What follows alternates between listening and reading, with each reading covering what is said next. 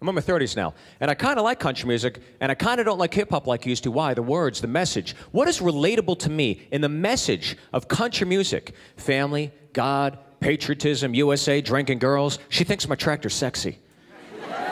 That's a song. She thinks my tractor's sexy. This asshole's getting laid with a tractor?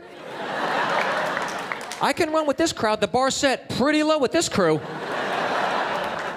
I mean, hip hop, what can I relate to in hip hop? Flying in a G6? You're flying a private plane in G6? I'm flying Southwest. Seating group C, because I didn't check in online 24 hours before the damn flight. In the club, popping Cristal. Good for you. I'm at home cracking Coors Light and saving the recyclables.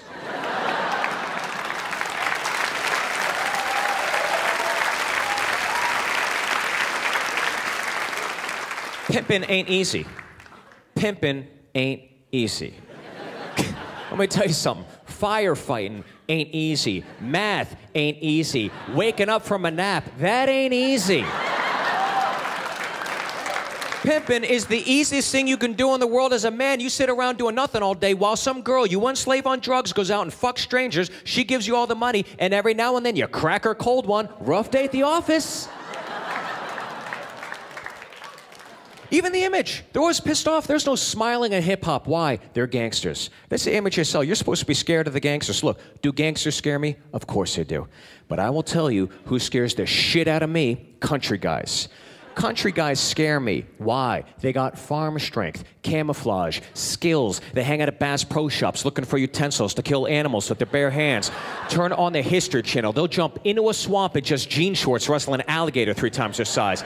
They'll make their own beef jerky. Do you guys know how fucked up it is to make your own beef jerky? Not that expensive. You could buy it at a gas station for under a dollar, but you're gonna go out, kill an animal, skin it, gut it, dry it out. People are like, hey, what do you eat? Something I killed a year ago. Holy shit.